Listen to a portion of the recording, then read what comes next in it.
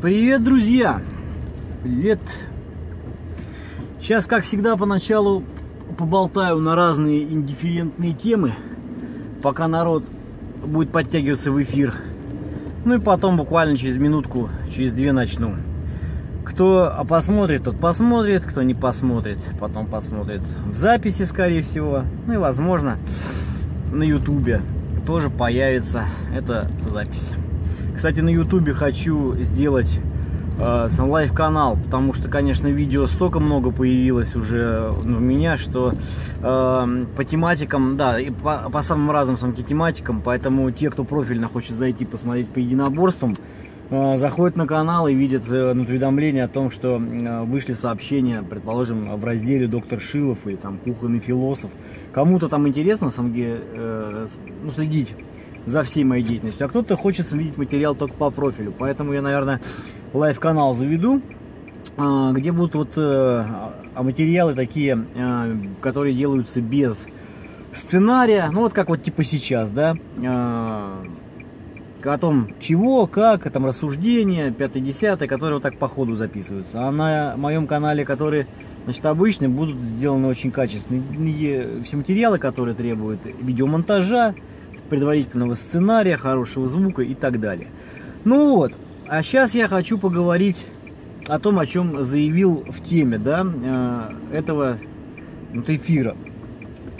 Да что ж ты будешь делать? Ну, тормоз едет, ну. А, ну вот, видите, что получается. Это потому что подкасты за рулем. Вот. А, а чем это вызвано? Вызвано тем, что совсем недавно, и вот буквально на днях, я приехал из Москвы, куда был приглашен на круглый стол Союза ММА, где я делал доклад. А, об этом а, событии я, в общем-то, в своем блоге написал на budoblog.ru, да, можно зайти посмотреть, это один из э, крайних топиков где-то вверху в самом, там есть отчет о том, что было до поездки, как я готовился к ней, и что было во время поездки. То, что будет после, я, наверное, отдельную тему запишу. Вот. Ну и частично туда войдет то, о чем я сейчас буду рассказывать. А, очень была офигенная конференция, если честно сказать. Э, докладов было более десятка. А, скажу, что из них буквально только два или три было никаких. Остальные были очень хорошие, уровень очень высокий, как с, научно -практи... как с научной точки зрения, так и практической.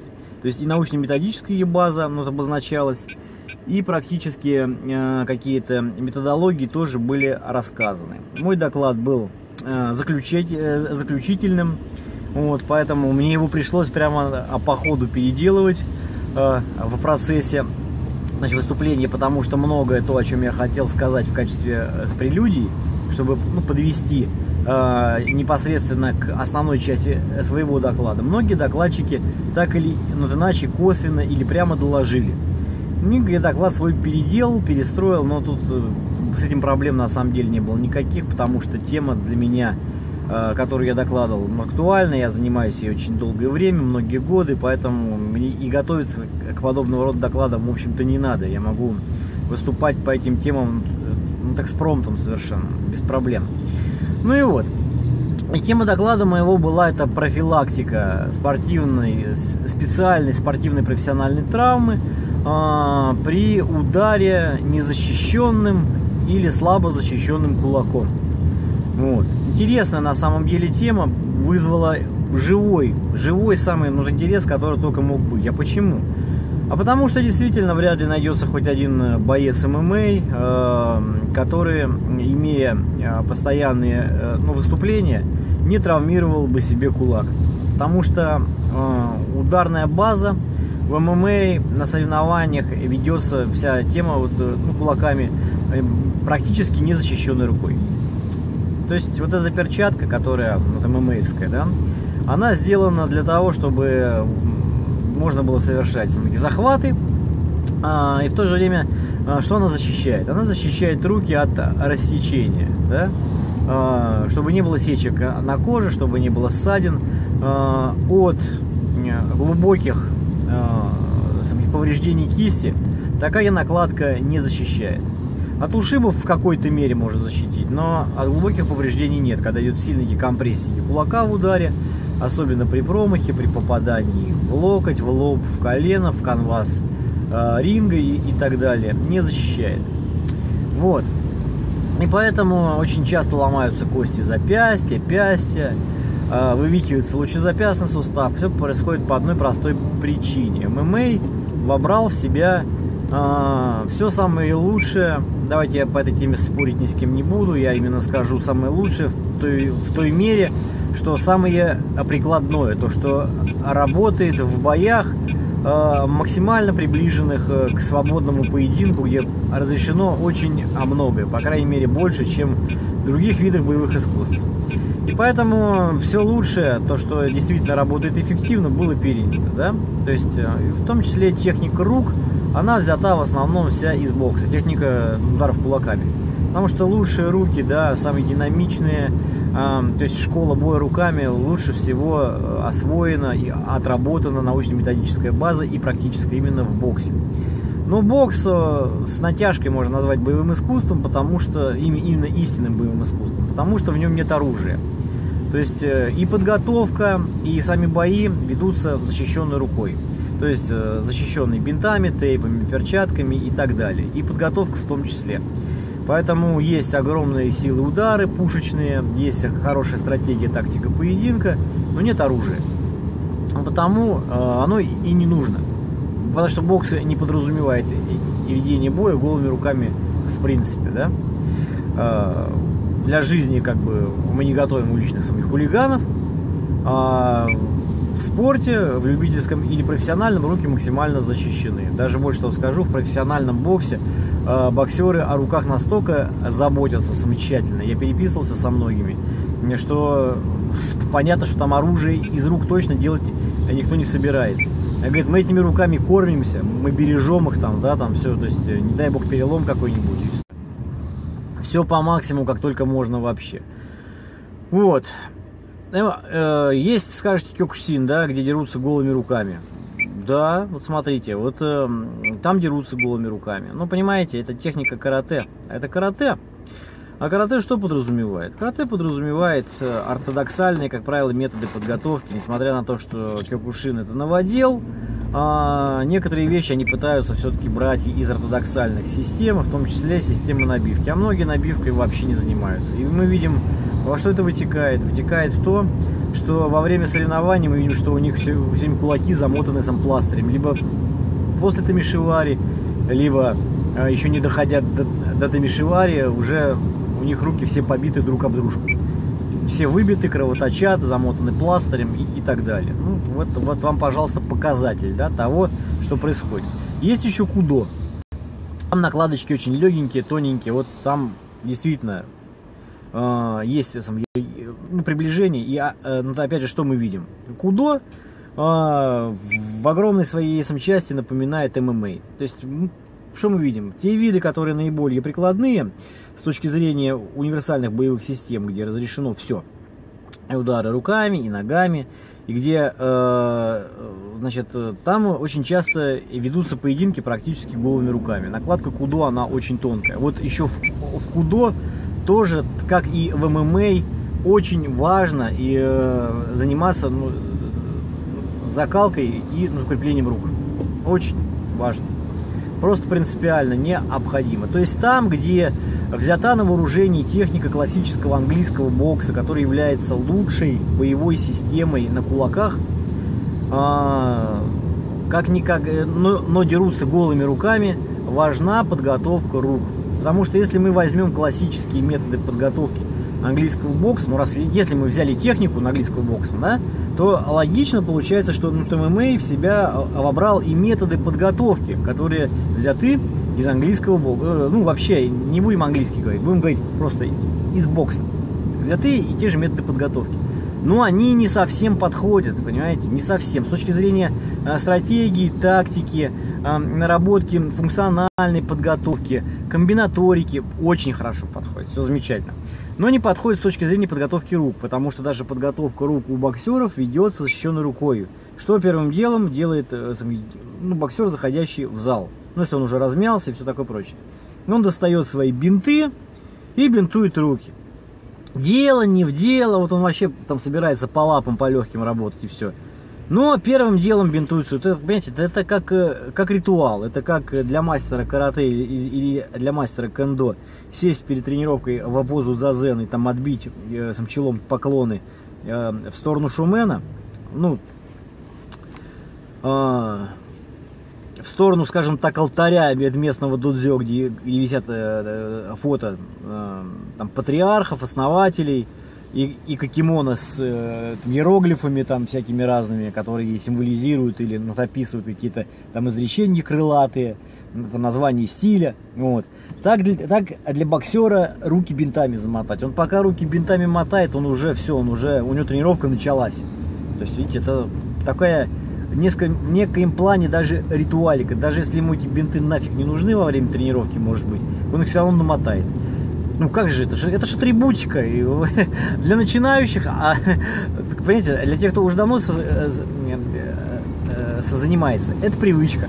А для начинающих это вообще необходимый ритуал. То есть они по-другому себя боксерами не, даже не чувствуют. Он себе бинты намотал, все, он стал на боксера похож. Все. Ну и вот так это все дело вырабатывается. В итоге, если мы берем все эти методы подготовки, работы по снарядам, даже по таким, как э, лапы э, там различные, мягкие мешки, пневматический мешок, да, и работаем, ну, вы видели, наверное, все, что по пневматическому мешку работают с забинтованными руками. Ребят, ну вот это в чем припин-то? Почему надо руки забинтовать, чтобы по пневматике поработать? Вам что, пневматический мешок руку э, в хлам разобьет, что ли? Вообще непонятно, зачем это делается. Или на резинке, который этот мяч, ну, на растяжках, мешок. Он что, вам поломает кисть, что ли, или костяшки разобьет? Нафига? А вот эти все бинтование, оно учит а, разучиваться ставить правильные костяшки на мишень. А если еще, не дай бог, надеваются шингарды для работы по легким э, со снарядом, все, все, вообще все потеряно. Ну, а по тяжелым снарядам работаем, там вообще все защищаем, и поэтому хоть все боксеры знают, что надо бить двумя костяшками там указательного среднего пальца, в итоге на поверку хрена, кто этими костяшками бьет, это уже проверено 100%, стоит заставить их только снять там, бинты и поработать минут 15 голыми руками, пусть даже по самому легкому э, снаряду, чтобы не разбить руки. И сразу будет видно, какие костяшки покраснеют. обычно э, это, это три костяшки со стороны мизинца. Как диктовал и учил бить Джек Демпси. Джек Демпси, потому что у него так это получалось, ну как у всех в основном, да, и он поэтому эту базу подвел, что именно так и надо делать. Ну, может, так и стоило бы делать, если бы руки были забинтованы. Они у него и были забинтованы всегда. Поэтому эта вся тема, которая была разработана Джеком Демпси, она вся именно базируется на том, что вы работаете в перчатках и защищенными руками. Не подходит она для ММА, не подходит она для кудо. Все не то. Вот. Голая рука требует правильной постановки, правильной в том э, ключе, что и, и биомеханики требуют э, правильной, э, наиболее правильной. И той постановки, которая гарантирует наименьшие повреждения. Так вот, со стороны большого пальца, если бить э, э, косточками от указательного и со среднего пальца, а мне вопрос часто задают на семинарах, какими же косточками все-таки лучше бить. И этими именно и надо бить, потому что со стороны большого пальца, в проекции этих косточек, когда мы выстраиваем удар кулаком, а, находится лучевая кость, которая толще гораздо, чем локтевая. И выстраивается, и у нее как раз а, она формирует в большей степени лучезапястный сустав в, переходе а, в, пястные, а, в, в кости запястья. Вот. То есть там распределяется широко нагрузка, то есть и тогда получается минимальный травматизм. Поэтому именно так это правильно будет, наиболее. Ну и кроме того, эти костяшки более крупные, они более массивные, они э, лучше подготавливаются именно при методической э, работе, при подготовке. То есть, э, понимаете, можно там набивать э, косточку от мизинца, но она настолько хрупкая и тонкая, что даже если вы ее хорошо закалите, она все равно будет более хрупкая, чем, э, предположим, косточка со среднего пальца. Вот это, это по-любому. Даже а почти неподготовленная косточка среднего пальца, она крепче на э, ну, разрушение и на травму, чем даже хорошо подготовленная косточка мизинца. Ну, все. То есть очевидно, что готовить надо. Ну, в принципе, готовить надо, конечно, все. То есть при закалке кулака надо комплексно подходить э, к вопросу. И ну, укреплять нужно все костяшки. Но при работе по снарядам надо все-таки пытаться бить не как Бог на душу положит, а тем, чем надо. А как не надо, оно само получится. Вот так вот. Ну и вот. И что хочу сказать. Выступив на конференции, подняв эту тему, сейчас я продолжу, о чем я там говорил, я был приятно, нет, удивлен я не был, скажу так. Э, мне было приятно то, что нашло это глубокий э, отклик и понимание, и интерес. Потому что докладывал я вот в каком вот аспекте. Значит, ММА постоянно молодеет. То есть, э, если раньше в ММА это, это было шоу прежде всего, профессиональное шоу, которое допускало в свои круги как правило, подготовленных уже бойцов из разного вида направлений, то есть это было именно шоу, это не спорт был. Вот. И даже были правила уже потом, когда это стало становиться спортом, что на бои на ММА допускаются люди, имеющие разряд в каком-либо виде боевого спорта не ниже кандидата в мастера спорта. Знаете? То есть это говорило о том, что ММА вообще не был даже видом. Теперь это стал собственный вид, культивируемый на территории России, соответственно, открываются детские секции, и все э, с более молодого возраста, уже с 12 лет, там, по-моему, можно, э, и еще, и еще с меньшего возраста скоро будет можно, а, ну, тогда детей э, в секции в эти, вот, э, мы, понимаете, мы не должны э, сам допустить, чтобы дети травмировали свои руки. Понимаете, а в ММА, я сказал уже, нету такого, чтобы кто-то не выбивал себе руки, пальцы, там, ну, э, суставы, потому что это, это стали вообще считать нормой, хотя это не норма вообще, в принципе. Это не норма в корне. Я просто повторяю это, за кусками свой самки доклад. Для ребенок, который пришел заниматься в секцию, значит, ММА, вот, а, он не факт, что потом станет профессиональным бойцом. И мы не должны рассматривать его тренера, которые занимаются с ними, не должны рассматривать это так, что мы там идем на все жертвы, пускай все руки ломает, он же все равно будущий боец. Абсолютное большинство детей, которые занимаются боевыми искусствами, в дальнейшем свою жизнь с боевыми искусствами не связывают в серьезной мере. А предположим, он занимается еще музыкальной школе, или художник, или в конце концов э, программист, где нужны пальцы, э, чтобы, э, по крайней мере, на клавиатуре... В общем, руки и пальцы функциональные и подвижные, они нужны любому человеку. И мы не можем ребенку в детстве, скажем так, испортить руки, чтобы они стали менее функциональнее, чем лишить его в дальнейшей взрослой жизни части выбора, а, чем он должен заниматься дальше.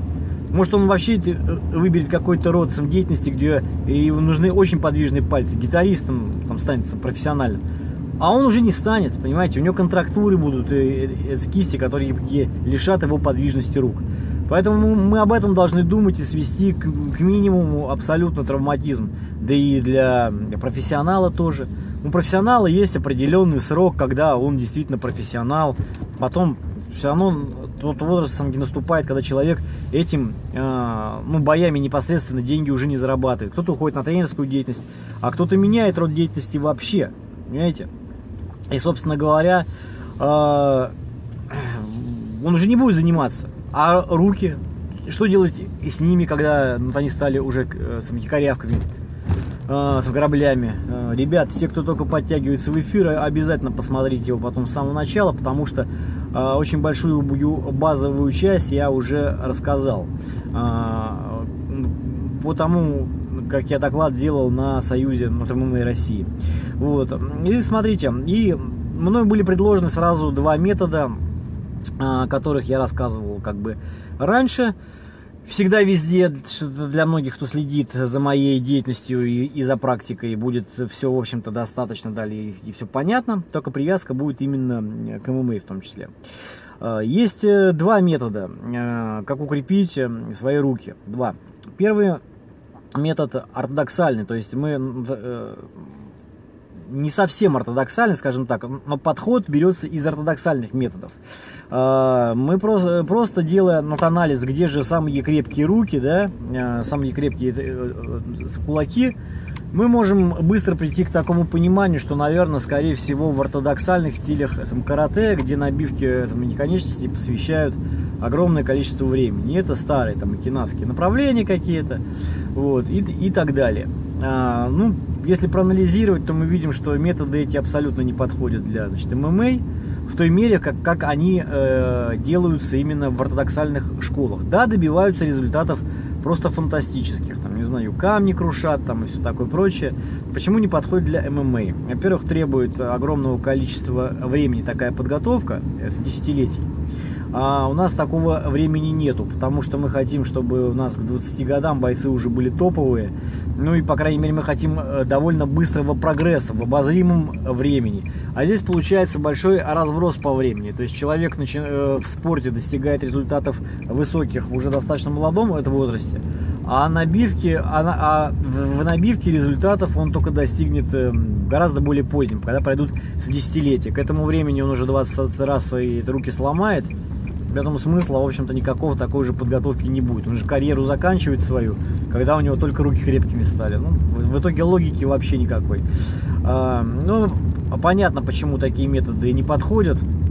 Еще потому, что они превращают руки в грабли. А я уже сказал, почему это не нужно, да, э, современному человеку. Потому что в современной жизни а подвижные руки вообще необходимы. Вы даже не сможете нормально на телефоне, на своем айфоне или на там андроиде а, там набрать какой-то текст, если у вас э, будут руки-крюки. Это самое минимальное, что можно сказать. А если даже не сможете механические часы завести, да, это головку маленькую часов механических. Ну, в общем, короче говоря, а если еще это там род деятельности, там, это музыкант человек или что-то, все бесполезно.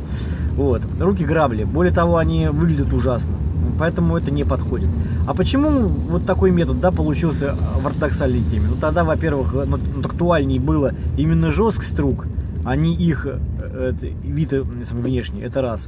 А два, потому что не было знаний в области науки человека, спортивной медицине, спортивной физиологии, биомеханики, гистологии, анатомии и так далее. Поэтому все делалось эмпирическим абсолютно путем, как мог Акинавский, там, христианин, не зная ничего, создать какую-то методику а современные мастера боевых искусств из Окинавского Годжун говорят, они лучше знали наши предки. Да нихера они не знали ничего, ничего не знали. Как Бог на душу положит, э, э, пробовали, там у кого-то получилось сделать руки крепкими через 30 лет. Все. Вот и давайте будем теперь так все делать. Нет бы немножко мозгов приложить, как того же результата, сам добиться, предположим, за 5 лет. Ну и кто приложил мозги, вот я, например, да, и разработал методику подобную, и люди, работая по моей методике, добиваются уже давно результатов таких. То есть за 2-5 э, лет э, делают руки такие же, как у супер э, там, мастеров на Макинавского Гуджирю, такие же крепкие. Чтобы в стену долбануть один раз, или даже десяток раз там со всей дури и не повредив кулак, можно этого добиться, очень даже это несложно. Элементарно, можно сказать. Если понимать вот, методику, все как это делается. Вот и все. А, так, дальше. А, поэтому методы не подходят. А современные методы подходят, они разработаны. То есть, ну, для этого нужен, конечно, и метод, и нужен совершенно другой с, сам, снаряд. То есть, эти камни для этой цели не годятся, стены не годятся, жесткий макевар не годятся. Годится лишь упругие макевара. То есть, чтобы мы били по жесткому, но упругость макевары эту жесткость нивелировала. И все получается, что мы бьем жесткое, в итоге встречаем жесткое сопротивление, идет упругое мягкое, происходит комплексная подготовка как э, кости, так и связочного аппарата. Все нюансы рассказывать не буду, это смотрите мои каналы, там очень подробно рассказывается работа на макеваре. Это первая часть. Но она не подходит, такая подготовка для детей, потому что ударные методы подготовки, там, кулака, особенно во что-то жесткое, в, э, в, в тяжелый мешок, например, там, да, а, в макивару какую-то там даже, даже стояние на кулаках-то банально и подпрыгивание на них, они поспособствуют тому, что нагрузка большая на кость э, э, приведет к тому, что в этих самых костях быстро закроются зоны роста. То есть произойдет их ну, обезвествление. И кость станет крепкая, но она расти не будет. То есть, почему кость растет? Потому что она имеет некоторые э, значит, точки, которые имеют хрящеобразную такую консистенцию, у них и происходит э, деление клеток костных. И кость растет в длину. А, если ребенок занимается такими видами спорта, где нагрузка на костяк очень большая, то кости в угоду тому, чтобы крепче стать, эту рыхлую текстуру закрывают очень быстро. И кости не растут в длину. Они в толщину растут, укрепляются, крепче становятся, да. но в длину не растут. Именно поэтому, как правило, низкорослые дети, которые занимаются спортивной э, гимнастикой, которые очень рано пришли заниматься. Нагрузка на костяк большая, длинные трубчатые кости перестают очень быстро самги расти. И все наши ну, атлеты, гимнасты, как правило, они низкого роста. Ну, акробаты то же самое, потому что там ударная нагрузка э, на позвоночник постоянно. То есть каждый вот это вот э, э, спрыжок, приземление, это очень большая нагрузка на позвоночник. Вот, такие пироги. А, поэтому детям, в принципе, бить во что-то жесткое нельзя. Но тут, опять же, что приходит на, на ум и вообще... Э, дело в том, что на макеваре упругого типа можно работать не ударную технику, а технику, которая выстраивает конструкцию ударного звена и постановку прихода на мишень. Боек у макевара можно сделать настолько мягким, вообще, а, что ребенок не будет испытывать, в принципе, нагрузки почти никакой. А вот постановка будет на мишень у него руки абсолютно правильная. Вот. Эм, но для детей, опять же, все-таки подходит больше другой метод. Он, ну, он обязательно должен э, и у подготовленных атлетов тоже применяться. Это метод э, укрепления кулака изнутри. Когда мы укрепляем сумочно-связочный аппарат всех мелких суставов, которые э, э, сформируют нашу кисть. Это кости запястья и пястья. А, вот, а также мышцы, которые заполняют э, пространство между этими косточками, которые к этим косточкам крепятся. Вот это различные червеобразные мышцы, мелкие мышцы, которые отвечают за мелкую моторику кисти, не пальцев прежде всего, а именно вот кисти как таковой, которые в лодочку формируют руку, разгибают кисть или закрепляют ее в прямом состоянии, вот так э, э сдвигают, раздвигают пальцы, вот эти э, мышцы и э, связки. Если мы их ну, укрепляем, развиваем их, то стабилизация друг относительно друга этих мелких структур э, делает руку очень крепкой. А, и когда мы сжимаем свои кулак, эти мышцы еще больше сокращаются, становятся толще, еще плотнее заполняют все пространства, которые в кисти есть, и еще плотнее фиксируют э, значит, косточки э, э, между собой. То есть они косточки натягивают друг друга на себя, а сами мышцы распирают в сторону. В итоге получается двойная такая нагрузка, одна наружу, другая вовнутрь, которая очень плотно цементирует нашу кисть. И косточки друг относительно друга неподвижны, во время удара кулак минимально деформируется, происходит минимальные, э, меньшие а, расклинивающие действия, как если бы кулак был рыхлым. Поэтому при ударе в жесткое рыхлый кулак просто э, разрывается э, внутри. Вот эти все компоненты, эти мелкие связки, они расходятся в стороны, они разрываются, да, все э, перерастягиваются и так далее. Получается травма. Если они плотные, ничего не разрывается, не растягивается. Методики для этого тоже есть, методики довольно простые. Ну, с одной стороны, когда знаешь, как их делать, методология, потому что комплекс, она достаточно большая. Все это разработано тоже мной. У меня, кстати, вышел в свое время курс очень большой по этой теме, который называется «Стальные руки. Первая часть». То есть пальцы, запястья, пясти. Вот. И по нему уже годами работают люди и добились выдающихся результатов. Он не только подходит для бойцов, он подходит для силовиков, для силового экстрима, армлифтеров и борцов. Кроме того, все эти методики, они также применяются не только для профилактики травматизма, а и для реабилитации после травм. Вот такие пироги. Вот я доложил эти две методики, предложил их принять на вооружение в ММА. Почему?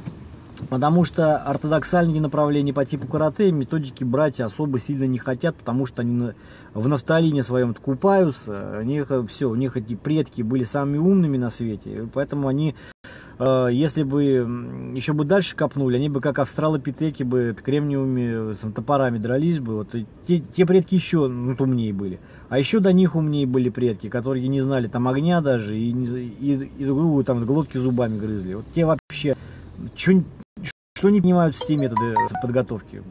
Там убивали люди друг друга только так. От этого жизнь сами зависела. Вот у них это были подготовки шикарные, да?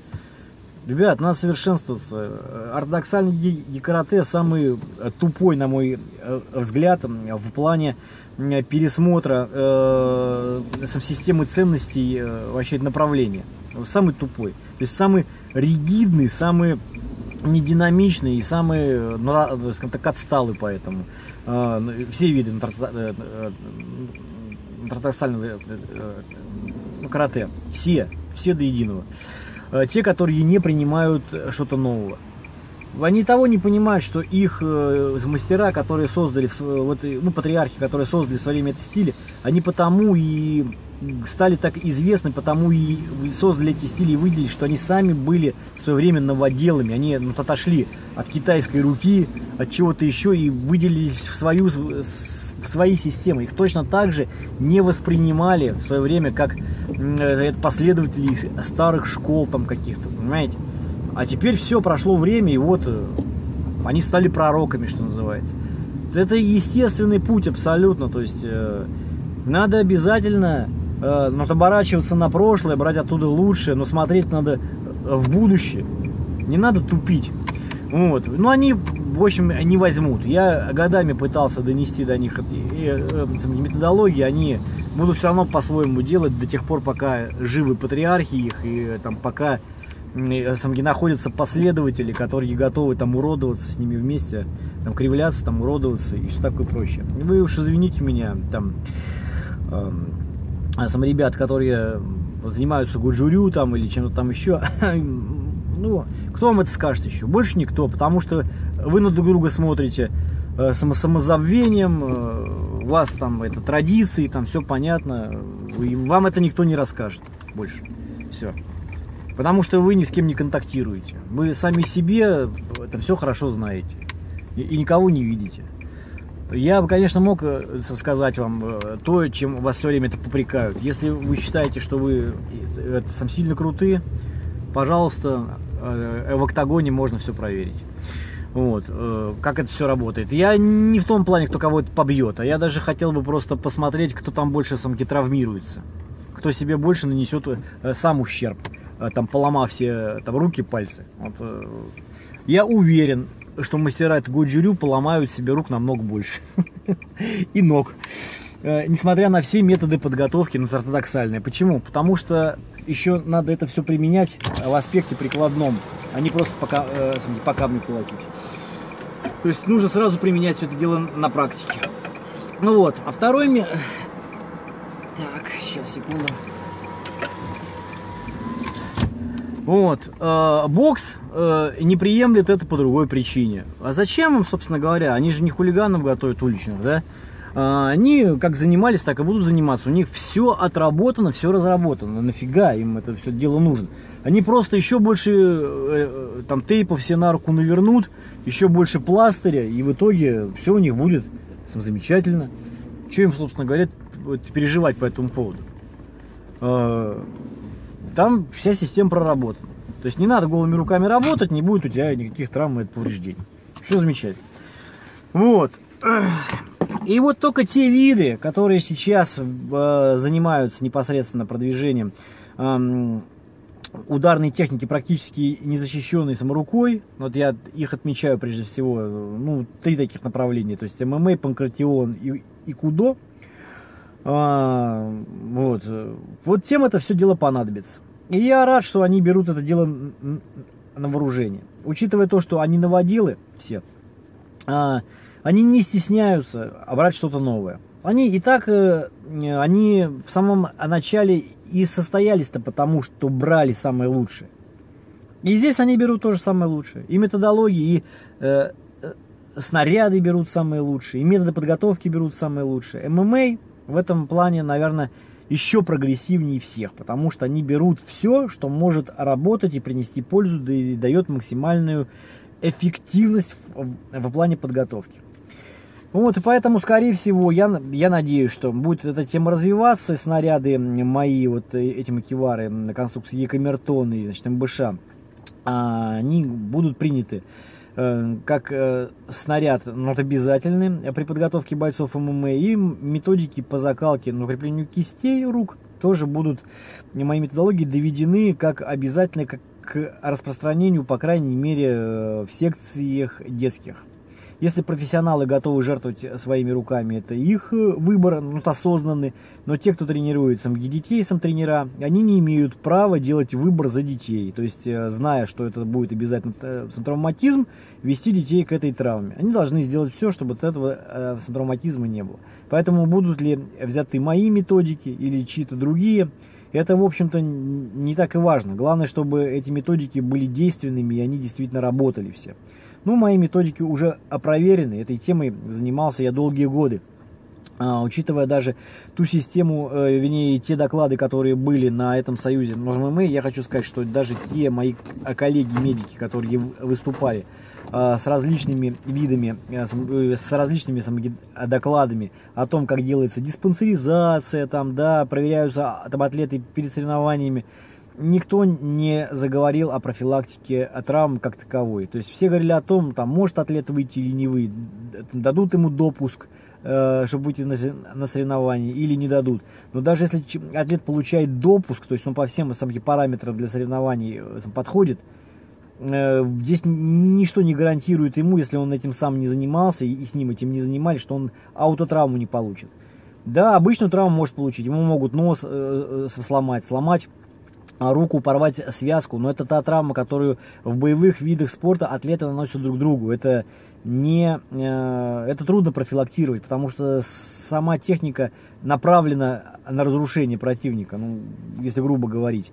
Но никакая техника не должна направлена быть на саморазрушение. То есть аутотравматизма быть не должно. То есть человек, который бьет, свою руку в ударе ломать не должен э, никак. Это маразм, это глупо, это неправильно, это абсурд. Ну, собственно говоря, вот и все, что я хотел по этому поводу сказать. Был очень рад я выступить на круглом столе Союза ММА.